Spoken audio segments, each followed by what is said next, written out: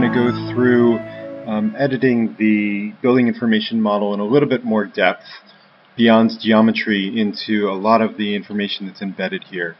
And as an introduction to this, I want to show you, um, back in OpenStudio here, we see our model of Worcester, and you see on the left the basic geometric um, and building information model um, entries for the model as a whole. It has the, the name of the building, the rotation, the terrain settings for wind, loads tolerance, temperature tolerance, etc., etc. And you see also that there's this output down here, which we can't change, although if we change one of these, you can see that it changes down here. And, um, or maybe I'll change this will be a little bit more obvious. It changed right there. And so what all this is, is a way for us to, user interface for input. But down here, it's confirming what that um, input is and what the output should be. And that output file is the IDF file itself. So when we save this as an IDF, um, what we're doing is saving essentially a text file with all this information in it. So if I go um, and open my finished geometry just in a text editor, you can see here that it um, generates this text file. What OpenStudio is doing is generating a text file, and let me show you this so you can compare.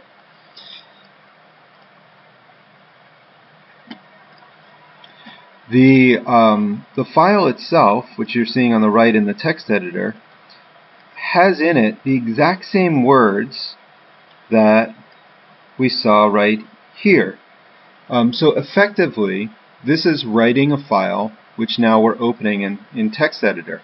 And this file is called the, the IDF file. Um, and in this file is everything about your model. So um, from the, the, general building to um, the schedules to uh, materials and constructions and windows and the geometry of each building surface and um, the HVAC systems and the output variables and all these different things. And that's the whole file. It's a very, very large file. Um, but actually, it's just text, so it's only a few kilobytes in real, uh, in real size. So we're going to uh, use a, a, program in order to edit this file because this the text itself can be a little bit cumbersome. Um, the, the program that we're going to use is called the IDF editor. And to open the IDF editor, what you should do is double click on the uh, IDF file and you should it should launch this dialog box called EP Launch, EnergyPlus Launch. And what this is is basically a uh, launch site for various things you can do, including run simulations. In fact, let's run a simulation very quickly. I'm going to open that file that we've been working on and um, actually before we run it well, I just want to show you so if I click on edit text it'll open in, a, in that same thing in a text editor if I click Edit IDF, it will open uh, the IDF file um, in the IDF editor. And this IDF editor, I'll show you um, just a quick overview of it. The um, all the different um, kind of um, available options that EnergyPlus can can do are called classes, and that's sort of a larger um, folder or uh, subset of, of parameters. And then uh, for each parameter, you can um, select for, oh, this is a bad example. We'll go to simulation control here. Ah, now let's go to building. So we've just been looking this at this anyway in OpenStudio. And um, we can change all of those things right here. So if you wanted to change your building name, you could change it in the OpenStudio, or you could change it right here. Um, and um, to make a, and sorry, and each one of these is called an object. So you see this says obj1, that stands for object 1. Uh, so within each class is one or more objects. And generally there's some very useful description here um, in this pane that tells you more about that object. And uh, if you have questions, sometimes just clicking on uh, the side here will help you to understand what the uh, what a typical input would be, what a default input would be, etc. So you can enter text directly into the cell, or you can look at the drop-down menus here. There's usually a, a down arrow when, um, well, there's always a down arrow when there's options available. In this case, you see that there's zero as a default. Um, in this one, you see that there's actually a few different choices available as a drop-down menu. So uh, that can be a, a helpful tool. Let me show you a little bit more about the interface here. Up at the top you see that there's a series of buttons and the, you can add objects by pressing new. You can duplicate an object using this one here. You can delete an object using this one here. Um, you can copy an object using this here and paste using that there. That's actually much more convenient or useful when you're copying between two IDF files. Um, keep in mind a few things. One is uh, there is no Control Z, there's no undo command in uh, the IDF editor, and I can't tell you how many times I've messed up a file because of that. So it's very, very important that you save early and often, and you use good version control so that you um, keep numerically advancing your file names. So just keep going right up through the number system 01, 02, 03, 04, and on up.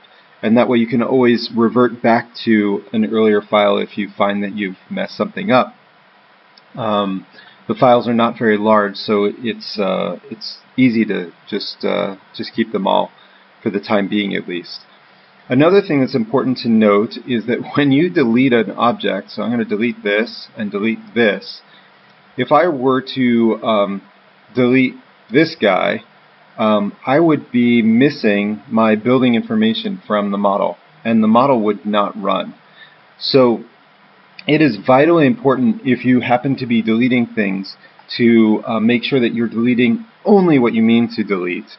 And um, this um, EnergyPlus on the whole is relatively sensitive. It's very sensitive to um, unknown values. So for instance, if I just added a new object like this and had uh, two of these that happen to conflict with each other, then this would be real bad.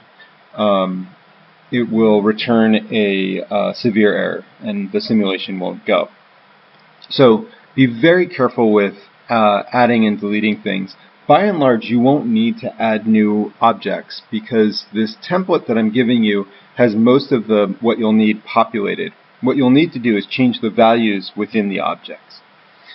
So let me give you an overview of all of the classes. EnergyPlus is a, an amazing program with almost infinite flexibility.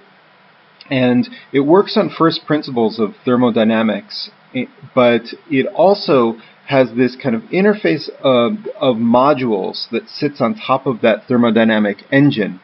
And these modules uh, allow the program to be expanded. And over time, it's uh, gone through many, many versions and has uh, gotten more and more sophisticated. And at the same time, there's some modules that just make things easier. You'll see that when we use them. Uh, but all in all, this file contains a huge number of potential classes for you to use. Now, we're not going to use the great majority of what EnergyPlus has. Uh, we're going to sort of scale this back to something manageable for this eight week class. If you press Control L like that, you can collapse the class list to just show the uh, classes that are populated. And you see on the left it says bracket 0001, that means that there's one object in the building class. If I go to 7 here, 0007 schedule type limits, it means that there's seven objects in that class. So as a thumbnail, you can kind of see how much uh, each of these classes are populated.